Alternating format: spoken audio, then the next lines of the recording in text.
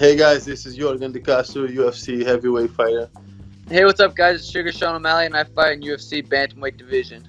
Hey, this is Beneil Dariush. I fight for the UFC in the lightweight division. My name is Yasmin Anders. I'm Eryk uh, Eryk Anders' wife. Uh, he's a UFC fighter, and I help him with his nutrition. I'm not a professional nutritionist, but I understand a lot because I compete in bodybuilding, so I have some experience personally myself, and I could do it for Eryk too. Dude, I eat uh, at least six. I mean, uh, four meals with two shakes. Four meals with two shakes, yeah. Um, I think I was doing five. Uh, training camp, depending where I am in training camp, I normally have uh, four meals a day and then some small snacks. If I'm eight weeks out and then I get closer, it'll become three meals a day with two snacks. So it depends a lot on uh, what stage of a fight camp he's at. So if he's off, we don't count much because uh, if he's not in fight camp, uh, he eats pretty much as he feels like he's hungry or he doesn't follow any anything if he's not in fight camp. He just tries to eat at least three very healthy meals and then he eats whatever he wants in the other snacks or whatever. Uh, but the more he needs to cut and the, the closer it is to the fight, we, we try to make more meals in uh, small amounts. So he he keeps um, full all the time and he doesn't get too hungry. So whenever he eats, he doesn't need to eat a big meal. So usually, if he, for example, right now that he's still, you know, he's still in fight camp because we don't know what's gonna happen. Um, by this time, it would be three, four weeks he would be having between four and five meals a day. Um, usually four. Uh, but then as the weeks go by, uh, for example, two weeks, we would try to make him eat five or six meals a day. So it depends a lot on how much he still has to cut, if he has been feeling good, if he, if he has the energy enough to train, uh, if he has been hungry or not. But that's that's the average of meals he has a day. Uh, scrambled eggs with the potatoes, like home home fried potato. Um, five ounces of meat. Uh, uh, nuts and an apple, I think. Breakfast, I, I actually will have more carbs than any other meal. So I can get bread, potatoes, um, anything like that, and then eggs. Uh, and uh, just just kind of carb up because I'm gonna use the carbs all throughout the day. Breakfast, uh, if he is uh, like a month before the fight, he likes to eat uh, oatmeal and uh, sometimes some eggs. Uh, but the closer we get to the fight, we just cut the carbs in the morning and just give him an omelette or eggs and you know sometimes he doesn't even want to eat so much in the morning because he goes it means hard in the morning, so he doesn't want to have a full stomach. So he drinks a protein shake and has a fruit.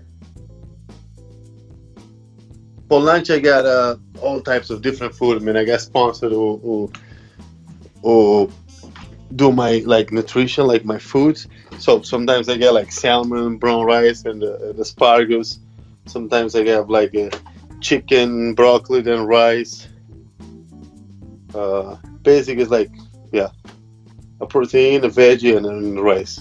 A lunch is usually a salad with steak and quinoa or sweet potato and yeah, that's about it. Lunch, um, I'll uh, I'll take some uh, complex carbs like brown rice. I'll take uh, uh, what is it, sweet potatoes, things like that, uh, and uh, protein and vegetables. I'll start introducing more vegetables during lunch. I don't really take vegetables in the, in the morning, and then and then once it becomes dinner, it's all fats and vegetables. I'll, I'll focus on fats, vegetables, and proteins. So I skip the carbs. Lunch pretty much doesn't change. It doesn't matter what stage he's so usually lunch is either rice, um, a lot of uh, sometimes beans, in uh, either steak or chicken. Uh, Eryk doesn't eat any seafood.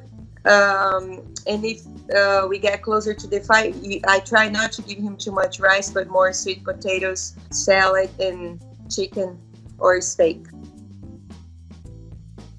Dinner, dinner. I, I cut on the on the carbs because I want to be a little bit lighter for this fight. So, uh, dinner was like a salad or a salad with chicken, a salad with a steak.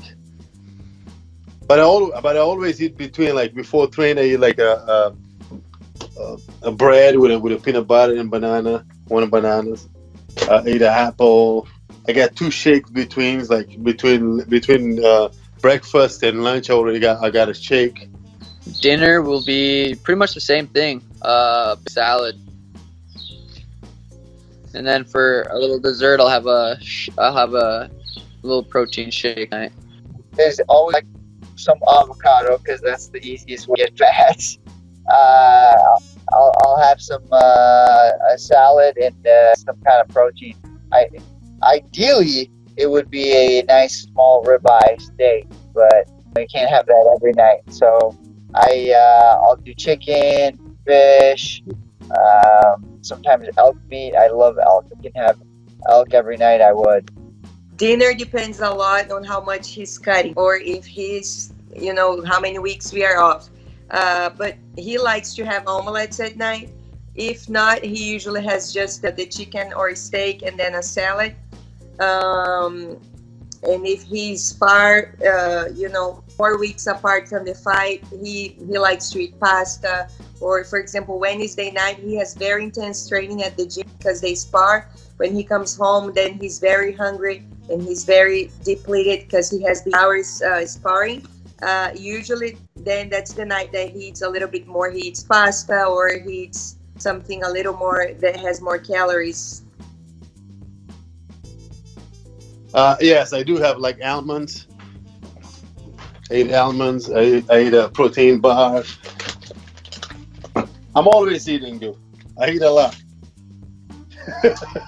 and this is like a typical training day, like Monday to, to Saturday, like like sun, like to Sunday. Like Saturday, if I don't train, I wake up with my family. Sometimes I eat different things. You know what I'm saying? If, if I'm working with my family in the morning, I eat a pancake with my daughter, my wife we, if we go out and uh, I can eat a, a, nice steak in a restaurant. This is this is a Portuguese area, so I eat some nice Portuguese steak with a rice and eggs. I mean, I don't have to really like look at my weight, so I can always eat, eat it here and there. Um, depends how close I am to the fight. Um, if I do have snacks, um, I'll always I always have a Zevia for a, for a late night snack. That's always good. Um, I'll, I'll usually do a shake if I'm feel if I'm feeling like I need to eat a little extra. I'll just do like a chocolate almond milk or chocolate protein almond milk, some peanut butter, and some frozen berries.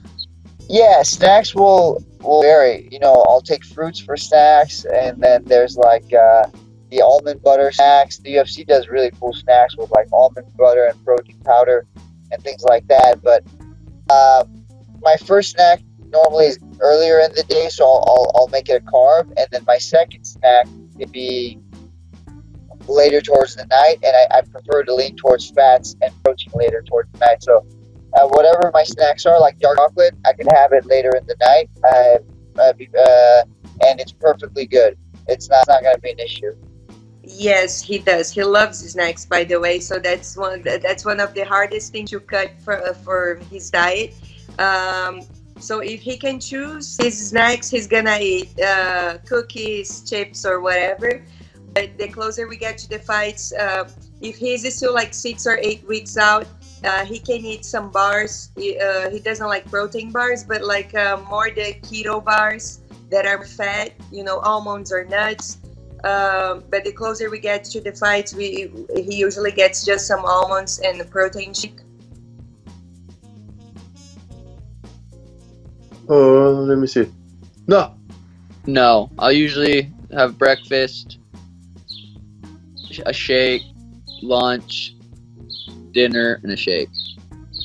All right. So if I'm really far out in camp, I'll have acai, and uh, it, it's uh, it it kind of it's like a full meal. So if I have acai, I have to actually skip a whole meal. That man, I love acai so much. I, I, I make it home and I, I know how to make it, so it fits perfectly into my calorie count and all that stuff.